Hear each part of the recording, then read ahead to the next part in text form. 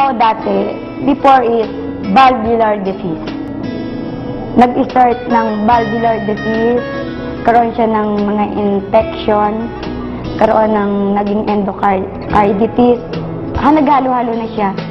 Nagkaroon din ako ng edema, yung sa feet and, ang, and ankle, yung kakaroon yung namamaga buong katawan ko, minamanas, pumuputok yung ugat ko sa paa.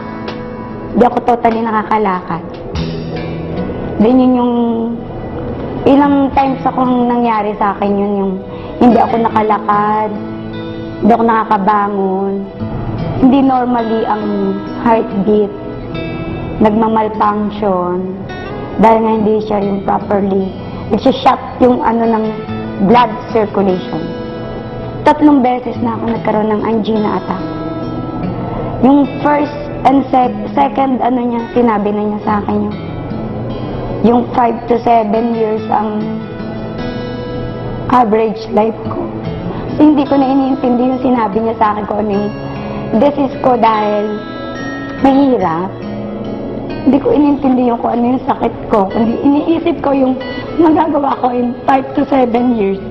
Dahil single mother ako ng time na yun. Kaya lahat ng, yan sa akin, lahat ng pwede kong inumin, lahat ng nag-aalok sa akin. Hindi ko tinatanggihan. Lahat ini-intake ko. Kahit mahal siya, sinusubukan ko.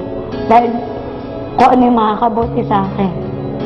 Kaya nga nung, nung inalok ako ng alive, nakita ko yung mga, ano, ng isang pressure, yung mga napagaling.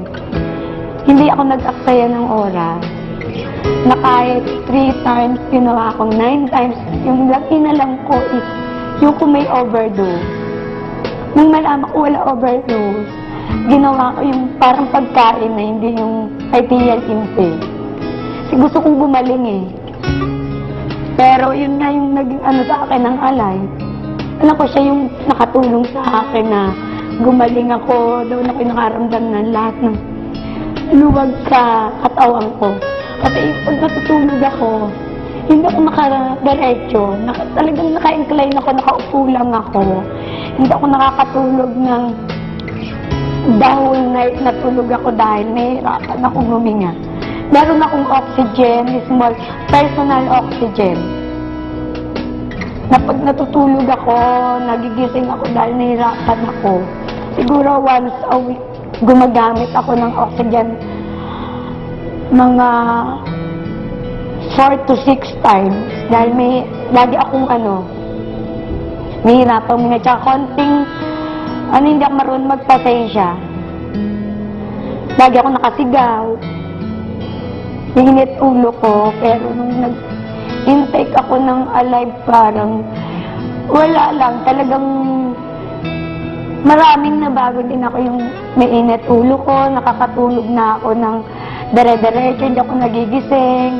Natutuwa ako. Kaya ngayon, yung tuwa ko yung, yung one week, yung ano nang naintay ko ng alive, alam mo ba yun na, alam ko siya yung ano, dinagdagan ko pa ng dinagdagan, inom ko.